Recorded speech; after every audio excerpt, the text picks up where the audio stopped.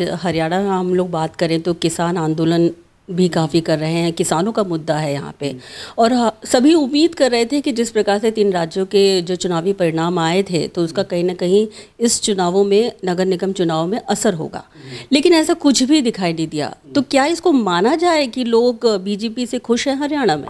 नहीं, बिल्कुल नहीं। ये कि सारा बीजेपी बड़े प्लानिंग के साथ काम करती है। आप देखेंगे, उनका जो प्लानिंग करने वाले जो लोग हैं, बड़ा रिसर्च करते हैं। यहाँ जो टिकटें दी गई, आप आप ये उठाइए, पाँच नगर निगम के चुनाव हुए हैं।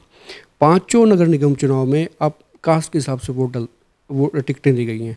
एक भी जाट कैंडिडेट को टिकट नहीं दी उनको मालूम है। शहर के चुनाव हैं, नगर निगम शहर में होता है। और वहाँ से किस कास्ट को हम ज़्यादा अप्रोच कर सकते हैं, वहाँ से वोट हासिल हो सकते हैं। हिसार की बात करें तो कुछ दिन पहले ही गौतम सरदाना को लेके आए, उसको टिकट दे दी। मालूम था, कई सालों से संघर्ष कर रहा है, लोग इसके साथ हैं, क्योंकि अभी सत्ता में कभी रहा नहीं है तो खिलाफत भी कम है। उसका फ़ायदा भी मिला, जीत गए। इसी तरह से और जगहों पे बात होती हैं।